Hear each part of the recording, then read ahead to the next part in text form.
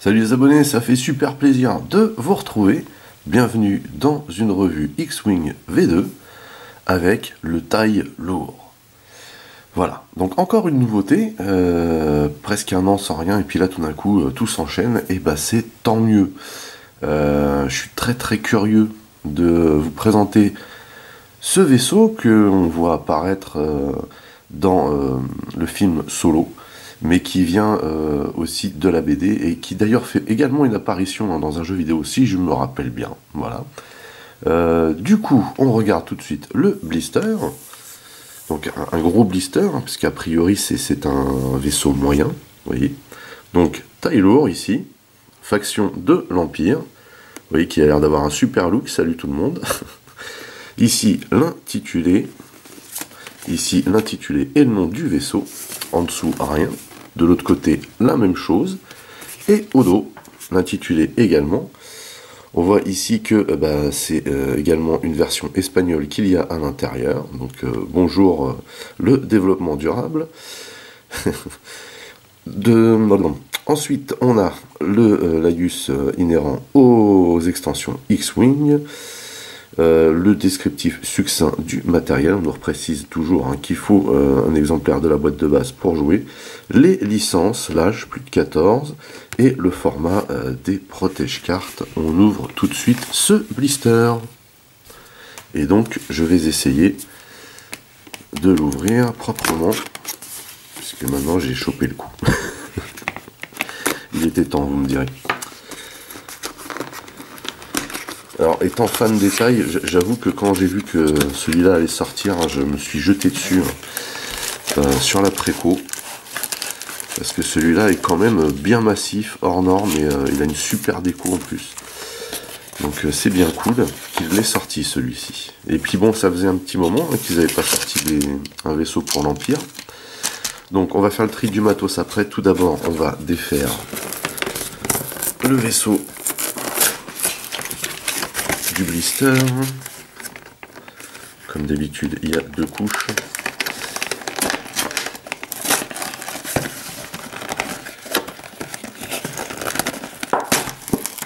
Voilà. À noter que celui-ci n'a pas bougé hein, dans, son emplacement. Parce que ces derniers temps, ils ont tendance à voyager hein, dans le dans le dans leur euh, bloc plastique là. Il a l'air chambé. On verra ça après.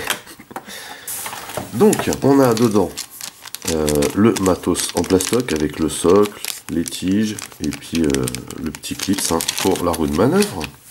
Ensuite, on a euh, la version espagnole, non merci. On a donc la petite notice avec le liste. C'est très compliqué ce soir. avec le détail ici hein, de tout le contenu. Les nouvelles règles, donc les marqueurs de contrainte qu'on a déjà vus exposer les cartes de dégâts, hein, euh, c'est une petite, euh, une petite fonction bien sympa ça. Euh, ici, on a la tourelle vers l'arc arrière.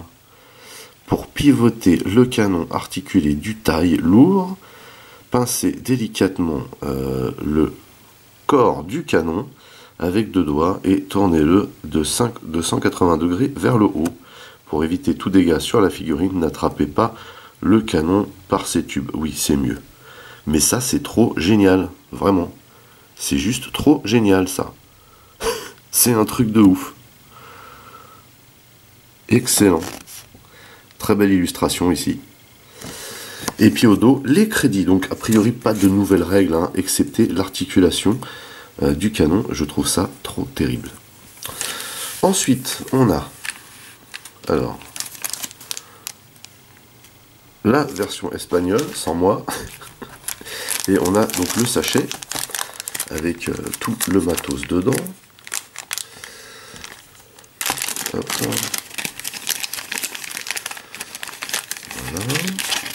Alors les cartes, comme vous le savez, ou pas, si vous venez d'arriver sur ma chaîne, les cartes c'est ce qu'on regarde en dernier. Et ici on a les planches au dépunchage pas l'air, euh, ma foi, trop surchargé. Hein vous voyez, il n'y a que deux planches et il n'y a pas des masses de, tokens. Hein. On va commencer par celle-ci. Ici, on a deux jetons de charge. Ici, on a euh, trois euh, marqueurs d'identification de vaisseau. Voilà. Ici, on a un marqueur de dégâts critiques. Ici, on a un indicateur de tourelle. Voilà. Et on a donc deux marqueurs de vaisseau recto-verso.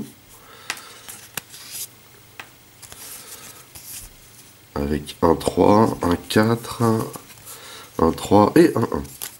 Ok. Donc le 4, on va se le mettre de côté, comme je fais d'habitude. Je prends toujours le plus élevé pour faire euh, le montage. Et on va mettre celui-ci par ici. Donc on a fini pour la première planche de dépunchage. Vous voyez, c'était plutôt rapide. Et sur la deuxième planche, ici, on a comme d'habitude la preuve d'achat. Super important. Alors, je me disais la dernière fois que je vais sûrement tous les mettre dans une enveloppe et les envoyer à FFG pour savoir si on a quelque chose en, retour. Vous voyez? Et je vous tiendrai au courant.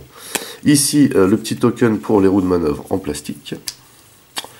Ici, on a trois marqueurs de contrainte. Beaucoup de marqueurs rouges. Hein, pour l'instant. Ça, c'est vraiment un truc que, j'aime pas du tout, la contrainte. Hein. C'est un truc euh, super handicapant, je trouve. Ici, on a trois marqueurs ioniques. Donc, j'imagine qu'on va avoir du matos ionique, bombe, enfin engin ou canon. Ici, on a deux marqueurs de stress, qui n'est pas spécialement bon signe. Et d'après ce que je vois sur la roue de manœuvre, euh, a priori non, pas trop. euh, deux targets ici. Ah, on a des marqueurs de calcul. Y aurait-il des droïdes dans l'histoire? Donc trois marqueurs de calcul. En fin du verre, j'ai envie de vous dire. Ici, on a deux marqueurs de concentration et un marqueur de renforcement. Et il nous reste donc la roue de manœuvre, et ce qu'on va regarder immédiatement, avec toujours le superbe design V2, vous voyez, pour l'Empire ici, très simple mais très stylé. Taille lourd. Donc on va la monter cette roue de manœuvre avant de la regarder de plus près. Comme ça on va sortir tout le matos du sachet plastique au passage. Voilà. Hop. Tout d'abord de ce côté. Et ensuite, on vient la poser au dos. Voilà. Non, ça a l'air d'être bon. Quand il y a un petit bruit de clips comme ça, en général, c'est que ça se place plutôt bien. Voilà, voilà. Donc, commençons ici. Alors à 1, on a toutes les manœuvres. Les virages serrés sont générateurs de stress. Les virages légers, eux, sont lambda. Et le tout droit euh, nous débarrasse du stress. Manœuvre à 2. Alors pareil, on a tout le panel de manœuvres. Euh, les virages serrés sont lambda. Et euh, la manœuvre tout droit et les virages légers, eux, nous débarrassent du stress.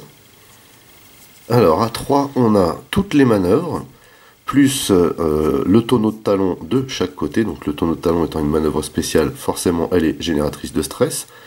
Tout comme ici à 3, les virages serrés. Par contre, les autres manœuvres, à savoir les virages légers et le tout droit, euh, sont lambda. Enfin, à 4, on a un tout droit lambda. Donc finalement, euh, il n'y a pas tant de stress que ça. il y a des manœuvres spéciales, donc ça c'est normal. Et euh, les virages serrés A3 et A1 sont générateurs de stress, à savoir que ce sont euh, dans le jeu des manœuvres quand même fondamentales, enfin je trouve personnellement. Euh, donc ça peut être un peu handicapant maintenant à savoir est-ce qu'on a du staff ou des pilotes qui nous permettent d'utiliser le stress à bon escient. Il y a de fortes chances. Voilà pour les manœuvres. Donc maintenant, on va d'abord monter le socle, la petite flèche vers le haut, Ici, on a donc euh, l'indicateur, enfin le, marqueur de vaisseau, pardon. Et vous voyez que ici on a les arcs de cercle, les arcs de tir de dessinés. Je vous avais dit hein, que ce serait compliqué ce soir.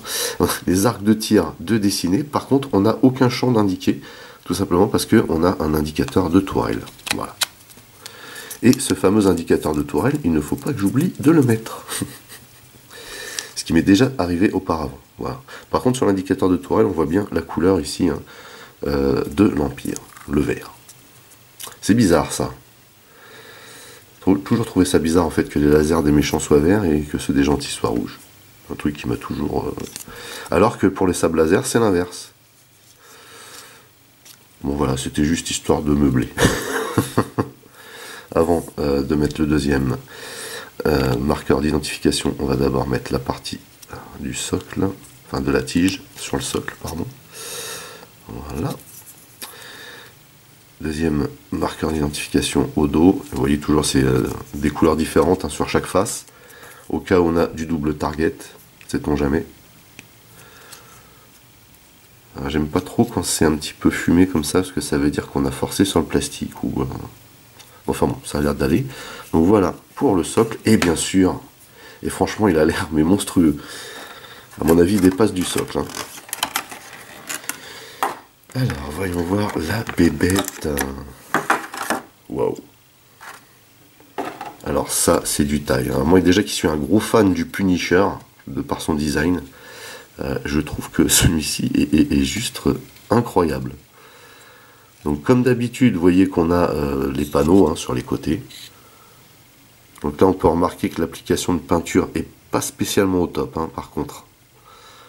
Mais sur un taille, sur les panneaux du taille, ça ne gêne pas trop. Euh, on peut faire passer ça un petit peu comme de l'usure, vous voyez. Mais bon, ça reste propre quand même. Hein. Par contre, ici, la partie cabine est juste hallucinante. Hallucinante magnifique. Et au dos, terrible. Petit réacteur, petite déco rouge, vous voyez. Juste trop beau, quoi. Et on a donc ici le fameux canon qui peut passer vers l'arrière. C'est un truc de fou. Alors ça, par contre, ça, c'est de la bombe. Hein. On a une petite résistance ici, à ce niveau-là, vous voyez, mais après, bon, pas besoin de forcer. Par contre, faut vraiment bien le prendre par là. Hein comme ils disent, parce que les, canons sont très jolis d'ailleurs. On l'air un petit peu fragile, mais c'est vraiment chambé. Hein. Ils nous font des trucs maintenant là euh, sur X-Wing qui sont juste hallucinants en fait. Et c'est trop bien d'y avoir pensé. Enfin bon voilà, on va le laisser comme ça, on va le mettre sur son socle. Hein, pour voir ce qu'il donne un petit peu comme volume. Alors ça va que c'est un socle moyen, mais voyez, euh, ça dépasse un petit peu. Ou alors c'est une illusion d'optique. Parce que vous voyez que du coup, le centre de gravité ici, ils l'ont mis là pour qu'il en fait pour qu'il rentre pile poil sur le socle, mais en fait il, occupe hein, toute la largeur du, socle moyen. Ce qui, est, juste monstrueux. Pour un taille. Hein. Je précise que c'est un taille. Donc ça c'est du taille. Hein. voilà donc pour ce superbe vaisseau sur son socle, qui donne super bien je trouve. Alors par contre, toujours la même problématique ici avec les marqueurs d'identification, si on les enfonce trop, ça gêne. Alors, on va faire un petit récap avant de s'attaquer aux cartes. On a donc deux marqueurs de vaisseau recto-verso, ce qui représente quatre pilotes, en fait. On a une roue de manœuvre. On a le petit marqueur pour les roues de manœuvre en plastique. On a la preuve d'achat, très important. On a deux marqueurs de charge ici. Vous noterez qu'on n'a aucun bouclier. Hein. On a trois marqueurs euh, d'identification de vaisseau plus un marqueur de, euh, de, tourelle. On a ici deux targets. On a un marqueur de dégâts critiques. On a trois marqueurs de contrainte, trois marqueurs ioniques, deux marqueurs de stress, trois marqueurs de calcul, deux marqueurs de concentration et ici un marqueur de renforcement. Tout de suite, les cartes. Alors, il y a le, 4 qui est derrière le 3. Ok, bon, écoutez, on va faire dans l'ordre proposé. Hein. On a donc pour changer une superbe illustration. Vous voyez, on va commencer par les stats du vaisseau, qui a donc 2 d'attaque euh, en mode tourelle, il a 1 d'esquive et il a 8 de coque c'est assez impressionnant pour un taille. Ici, on a de la concentration, du renforcement, du target, tout ça en blanc, donc voilà, ça ne stresse pas. Ici, le tonneau en rouge, donc stress. Et ici, on a euh, une action de rotation de la tourelle qui donne accès à une action de calcul qui stresse. ça, c'est super intéressant, vraiment. Ensuite, alors voilà, on a euh, ce qu'on va retrouver, je pense, chez tous les pilotes, c'est les canons rotatifs. Vous pouvez pivoter votre indicateur tourelle uniquement vers votre arc de tir avant ou arrière. Vous devez considérer le prérequis euh, arc de tir principal de vos améliorations canon équipé comme étant tourelle. C'est juste magnifique. c'est trop bien. Je kiffe. Euh, alors, ici on a Litan Dre, ou Dri, je ne sais pas. Pilote à puce, donc pilote unique, valeur d'initiative de 3. Qu'un vaisseau allié à portée 0 à 2 effectue une attaque, si vous êtes dans euh, l'arc de tir euh, côté droit ou côté gauche du défenseur, l'attaquant peut relancer un dé euh, d'attaque. Plutôt pas mal ça. Donc là on est dans, l'idée où on a deux, deux tailles lourdes côte-côte. quoi. Hein. Pas mal ça. On, reste, on reste plutôt simple hein, dans l'Empire. Hein. On va à l'efficacité. Ça, ça ne change pas. Ici, on a... Ouh, ici, on a Rampage. Alors ça, ça me parle. Donc, euh, je ne pense pas qu'il s'agisse du Transformer, en l'occurrence, mais ça me parle dans X-Wing. Alors, pour euh, les stats, c'est la même chose. Euh, ici, on retrouve un les canons rotatifs, bien entendu. Valeur d'initiative de 4. Superbe illustration encore. Rampage, donc, après avoir exécuté une manœuvre à vitesse 3 à 4, vous pouvez choisir un vaisseau situé dans votre arc de tir tourelle, bien entendu, donc c'est avant ou arrière hein, pour, euh, pour, le taille lourd ici, à portée 0 à 1. Dans ce cas, ce vaisseau gagne un marqueur de contrainte ou deux marqueurs de contrainte si vous êtes endommagé. Ouh, vilain pas beau. ça c'est méchant ça. Mais bon, il faut, euh, il faut voir que dans le jeu, on est, rapidement à proximité de l'adversaire. Donc c'est une capacité qu'on va pouvoir utiliser assez fréquemment et qui risque fortement d'handicaper l'adversaire parce que les marqueurs de contrainte c'est juste la plaie quoi, hein, faut le dire. Voilà. Sachant que, parce que je, relis, euh, voilà. Sachant que ça peut également, puisqu'on nous dit ici, vous pouvez choisir un vaisseau, donc n'importe lequel, qu'il soit allié ou pas. Euh, ce qui signifie en gros que si vous avez un autre vaisseau à combo derrière qui utilise les marqueurs de contrainte pour les transformer en autre chose de plus positif, ça peut être carrément radical. Hein. Donc là, j'en ai pas en tête, mais je, pense que ça doit exister. Chez l'Empire, par contre, je ne sais pas. Ici, on a un lambda cadet de l'Académie euh, Carida. Ok. Valeur d'initiative de 1. Pareil, ici, les mêmes stats. Et ici, valeur d'initiative de 3, donc ce n'est pas un pilote à puce. Hein. Sentinelle de l'escadron Onyx, toujours les mêmes stats, et un lambda également. Donc, au final, on n'a euh, que deux pilotes hein, euh, qui ont des, capacités spéciales, et on a deux lambdas, ce qui permet peut-être de pouvoir miser plus sur le stuff que euh, sur les capacités de pilote finalement. Donc c'est ce qu'on va voir derrière. Euh, ici, on a euh, les cartes de formation rapide et vous voyez que ça monte qu'à 2. Vous voyez également qu'on n'a pas des masses de matos embarqués. Par contre, vous voyez qu'au niveau canon, celui-là, par exemple, est au top. Hein Alors ça, j'imagine qu'on va le retrouver ici. Ça doit être spécifique à celui-ci, hein, je pense. Canon laser synchronisé, là-dessus, ça doit faire trop mal. Le truc des canons qui bougent, là, je trouve ça juste génial. Ah, alors le Rampage, par contre, vous voyez, il est à 3, lui. Hein. Alors bien sûr, déjà, ils ont mis Prédateur, blindage ablatif, pourquoi pas, canon laser synchronisé, post-combustion. Euh, là, je pense qu'on est au, top. À 3, on est au top, je pense. Donc 3, c'est quand même pas mal. Hein. Ensuite, on a le matos. Alors, voilà, donc ça, ça doit être ce dont euh, je vous parlais. Ah bah oui, bien sûr, ils en ont remis. On a des choses un petit peu mélangées. On va voir un petit peu ce que ça dit.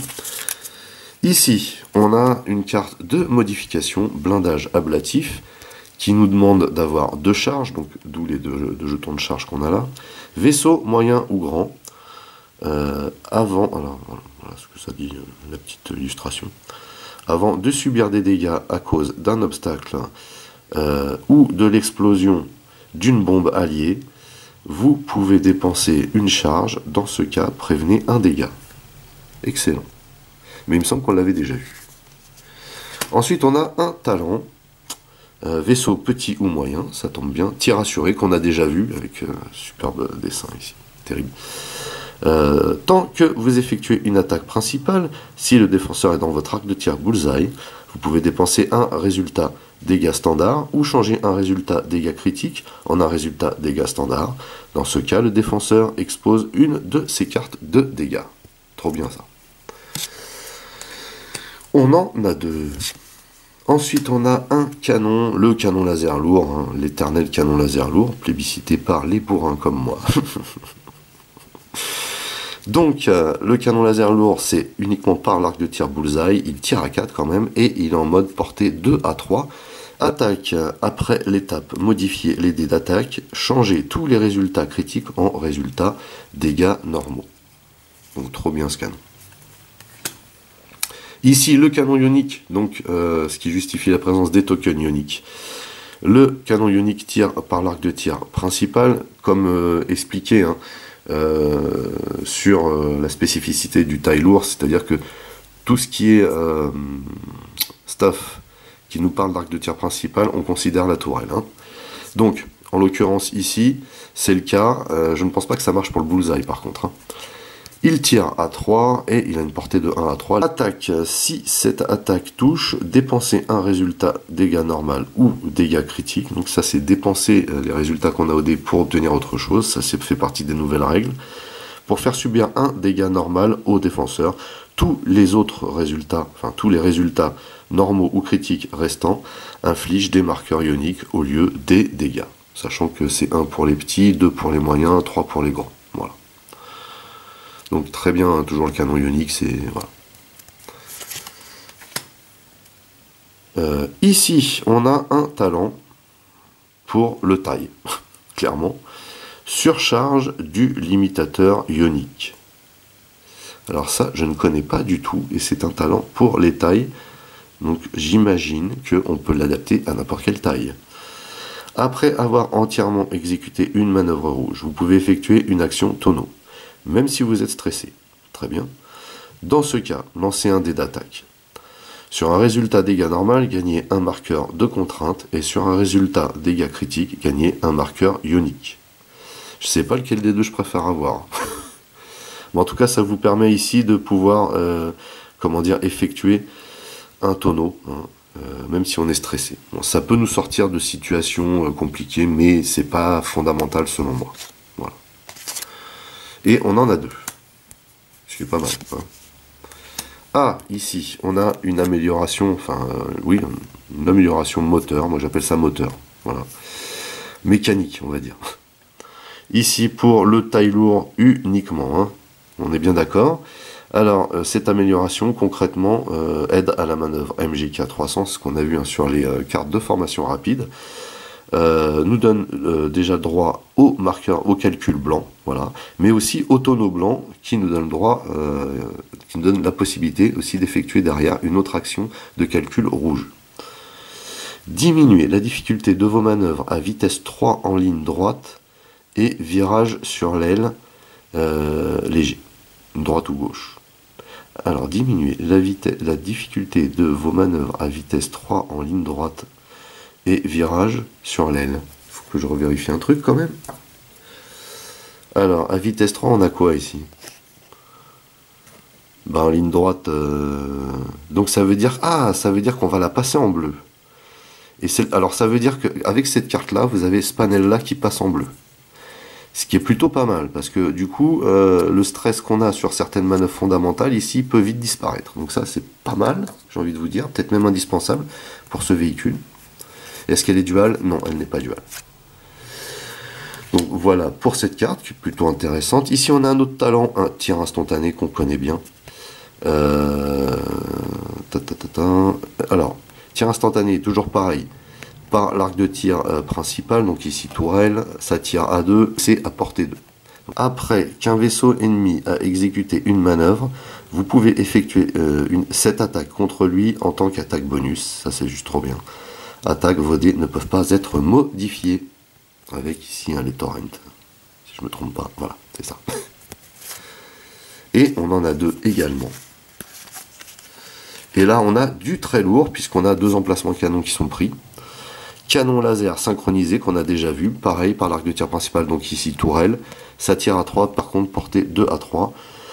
Attaque. Si vous êtes calculateur, le défenseur n'applique pas le bonus de portée. D'où la présence du calcul ici. Hein. Voilà, c'est logique. Et ici, on a... Ah, alors attendez que je reprenne un truc là. On a quoi ici?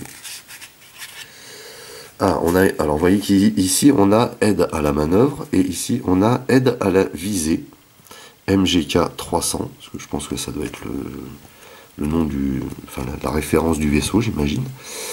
Euh, donc euh, modification ici, euh, amélioration pardon, mécanique, pareil pour le taille lourd donne donc le calcul ou elle qui donne accès à une deuxième action de calcul mais tout en blanc, plutôt bien ça avant de vous engager. Si vous n'avez aucun marqueur vert et que vous n'êtes pas stressé, gagnez un marqueur de calcul pour chaque vaisseau ennemi à portée 2 à 3 euh, situé dans votre arc de tir pour un maximum de 2. Voilà.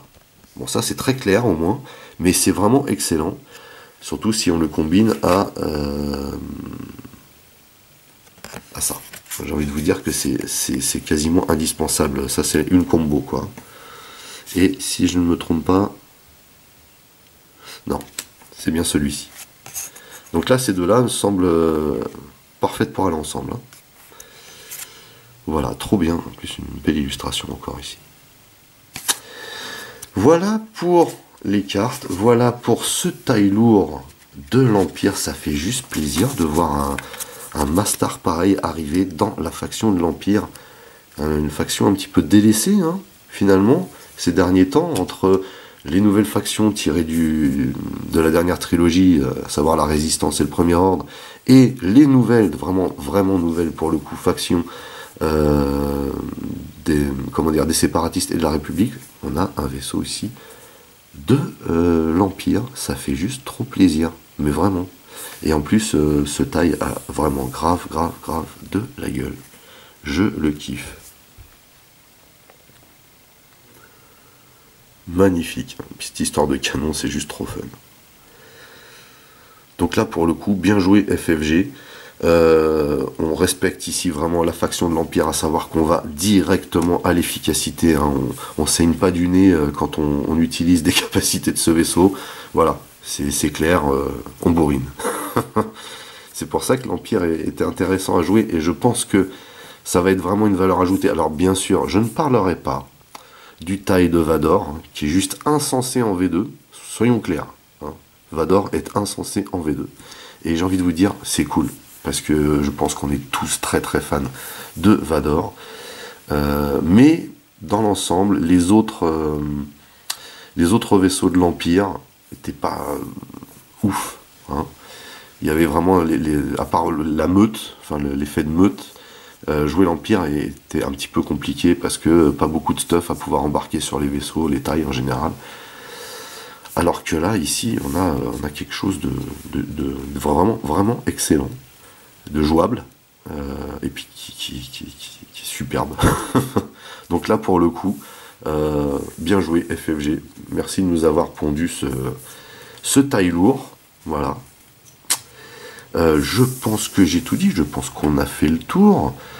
Euh, si vous voulez voir euh, des super vidéos de présentation de vaisseaux euh, dans le détail avec comment on joue, comment on s'en sert, comment on se bat contre, je vous suggère d'aller voir les vidéos de Millennium Condor Balado Diffusion. Je vous mets le lien de leur chaîne dans le descriptif de la vidéo. N'oubliez pas également d'aller rendre visite à mes partenaires dont je mets également le lien dans les descriptifs de la vidéo. Vous pouvez également lâcher des commentaires Merci de liker, merci de partager. Pour les nouveaux, n'oubliez surtout pas de vous abonner à ma chaîne. Vous pouvez également checker toutes mes autres revues et playlists, et pourquoi pas la playlist de X-Wing V2. En attendant, je vous donne rendez-vous à très très vite pour une nouvelle revue X-Wing, puisqu'on va enchaîner avec les nouveautés. Portez-vous bien, et à la prochaine. Allez, bye bye.